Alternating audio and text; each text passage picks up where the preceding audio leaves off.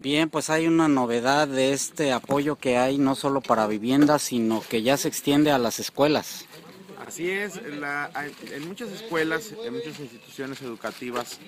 eh, pues generalmente se ponen de acuerdo los padres de familia con los maestros y quieren que estén mejor sus hijos. Sin embargo, debemos entender que también los recursos no alcanzan eh, para tener eh, al 100% todas las escuelas. Sin embargo, eh, la sociedad civil se está organizando y están participando y me han solicitado eh, como diputado que actúe como gestor para que ellos ponen una parte y poder conseguirles a través de estos programas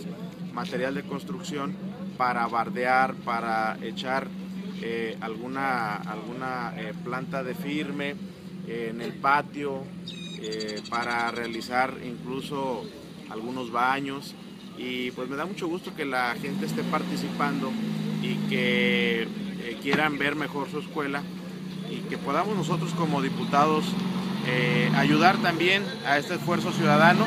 que también ayuda eh, sin duda alguna para que sus hijos estén mejor en las escuelas y que en equipo podamos avanzar a darle solución a los problemas que también hay en infraestructura educativa dentro de las escuelas en mi distrito que abarca Bahía de Banderas y Compostela.